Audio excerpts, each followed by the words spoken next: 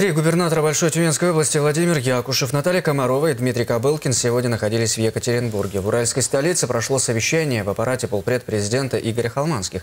Безопасность перевозок детей стала главной темой встречи. После трагедии на трассе в Югре прошли проверки. В некоторых регионах УФО комиссии вскрыли серьезные нарушения. Так, в Курганской области школьников возили на соревнования ночью, а в Челябинской трое водителей попытались выйти на рейс пьяными. В итоге был принят ряд мер. В Югре запустили круглосуточную горячую линию. На нее жители могут сообщить о любой опасности, которая грозит детям. В нашем регионе решено оснастить школьные автобусы оранжевыми проблесковыми маячками. Также введены ограничения на дальние выезды.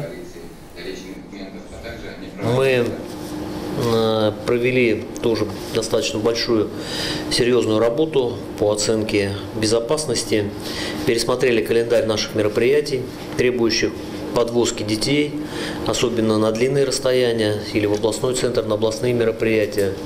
Часть таких мероприятий отменили совсем, часть перенесли на время с более благоприятными погодными условиями.